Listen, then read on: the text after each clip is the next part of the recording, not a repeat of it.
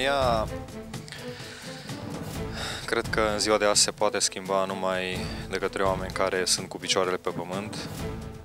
În primul rând cunosc realitatea și au o viziune și au o gândire mare și văd în viitor foarte bine.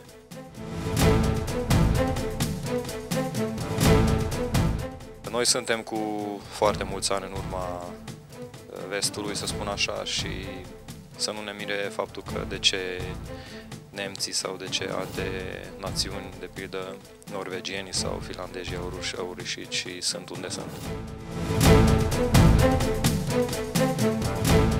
Educația foarte, foarte importantă și cea mai bună educație vine desigur de la părinți, uh, deoarece